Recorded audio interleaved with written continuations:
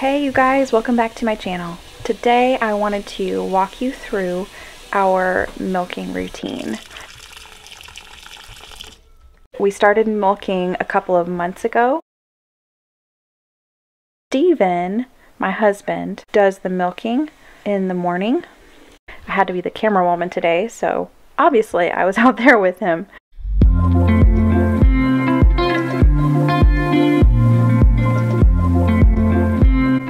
Super cold right now. We live in the south and it's been like in the upper 20s and low 30s in the mornings and to us that is super cold. So yeah not a fan but we're getting through it. There's Beulah just waiting to be let out. So in the mornings she typically gets alfalfa pellets. Right now we are actually out of pellets. So she's just getting a little bit of grain top dressed on her hay. We really haven't had that much of a problem out of her with this. If she finishes her food before we're done milking, um, she is really great about just standing still. Usually we give her a little brush because her bedding is sawdust and sometimes that can get a little messy. It's much easier to scoop poop out of and we are getting it for free so that is why we chose sawdust. Um, but yeah it does require a little bit of extra brushing and wiping to get it all off of her in the mornings. So here Stephen is just wiping her udder down.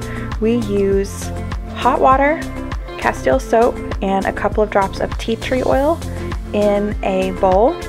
Each morning we have white wash rags that we immerse in the water and that is what we use to wipe her udder until it looks clean. And by it looking clean, I mean we wipe until the white rag still looks white. So we also really focus on her teats, making sure that there is not any dirt or mud or poop or anything like that the Udder Balm is a balm that I made myself. It is a mixture of beeswax, shea butter, coconut oil, olive oil, and some essential oils.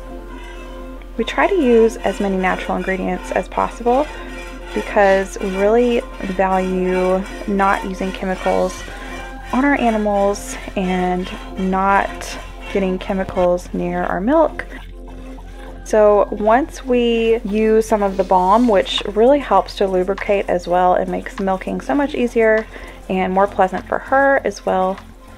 Once we do that, we go ahead and start milking.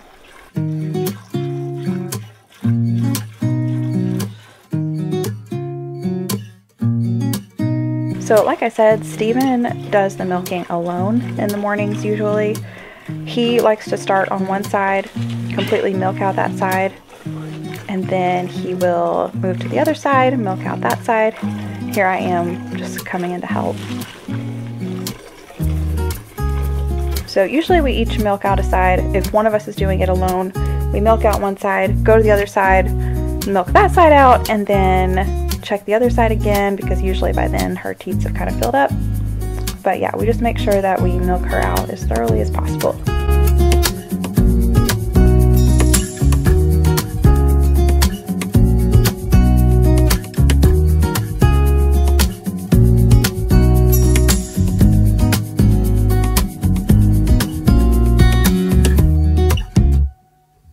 At first it was kind of hard to tell whether she was fully milked out or not, but now that we've been doing it for a couple of months, we know the way her udder feels when it is completely empty, the way it feels when it's full. It's just easier to tell. Some quarters are different than others, but we feel like we've gotten a good handle on making sure that she is completely milked out.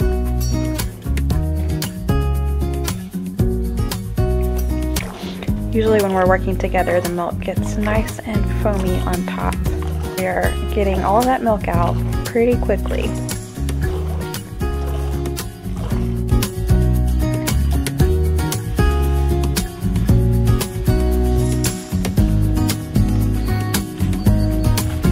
So once we finish up, we wipe her down once again with the udder wash, focusing on the tips of her teats, making sure that We are reducing the likelihood of any bacteria. Typically, we rub her down with the udder balm at the end of milking.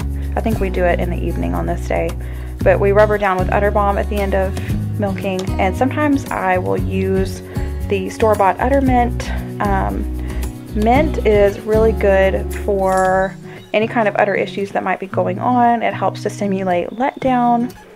Um, it helps prevent mastitis. I think it's good to have one cream both with and one without peppermint. But usually we will use one or the other and just alternate morning and evening.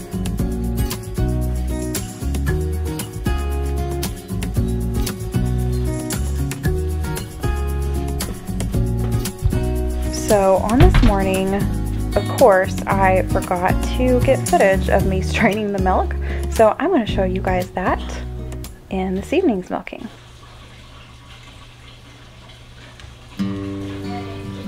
So here we are that evening getting ready to milk again. And yes, we milk twice a day. The reason for that is because we want to make sure that we are keeping her production up.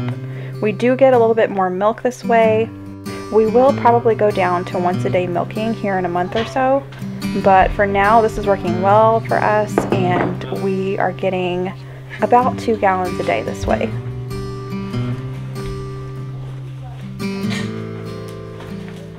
We really enjoy this time where we are working together on something, it's something reliable, we can just kind of chat and yeah, it's nice.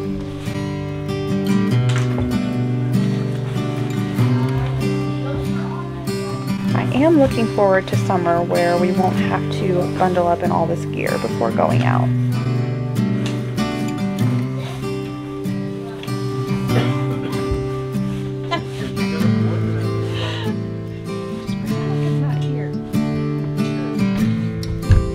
Our milking times are usually around 7.30 a.m. and 7.30 p.m. So obviously right now it is completely dark by 7.30 p.m. So I'm really grateful for these LED shop lights that we have outside of our barn.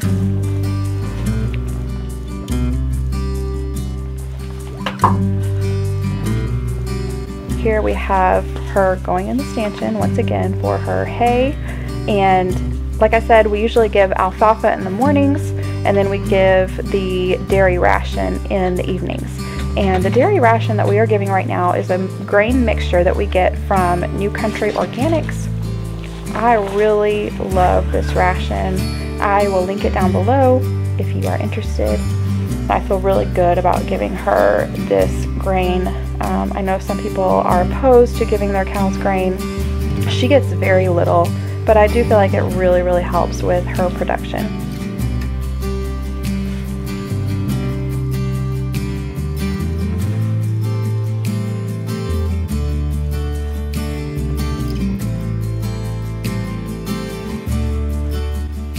We are wiping down again and I'm going to show you a little bit more of an up close of the udder balm.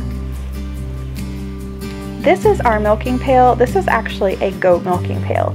So the reason that we chose this pail, which we actually borrowed from a friend, um, we need to buy our own eventually, but this pail works perfectly for us because she is a mini Jersey and she is so short, there's really no way that we could fit a regular sized pail underneath her. So it's really, really the perfect size. Usually we get just enough to fill the bucket and it's just great.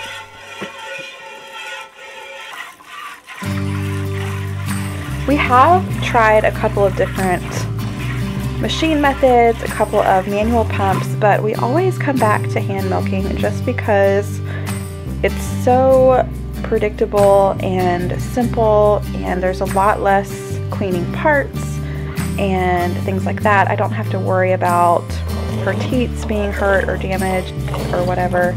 I just feel like it's easier on her and in the end it's really easier on us too.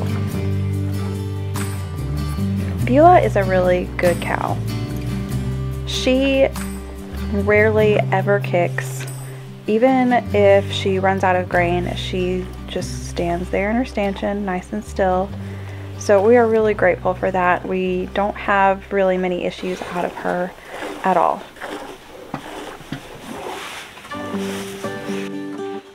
Now there have been a couple of times where she's kicked the bucket. That was back at the beginning of us learning how to milk and her getting used to it.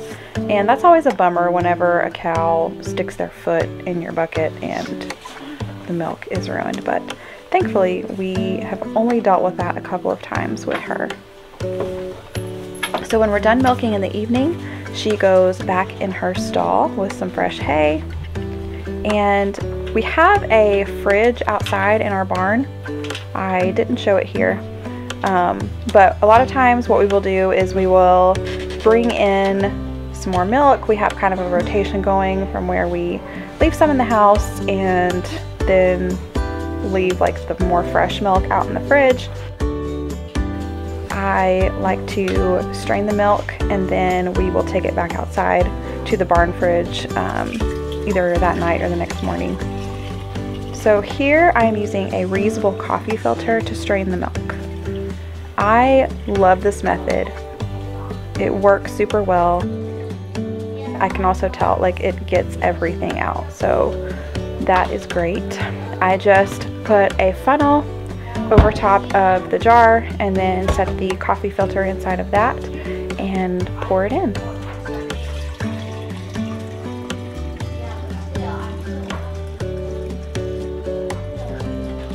I will try to link as much equipment as possible down below if you are looking for some of these things. If you are just getting started with milking a dairy animal and you're not quite sure what to get. We use a mixture of plastic lids and metal lids. Um, we have tried out lots of different lids, but I really like the plastic lids. They are really easy to write on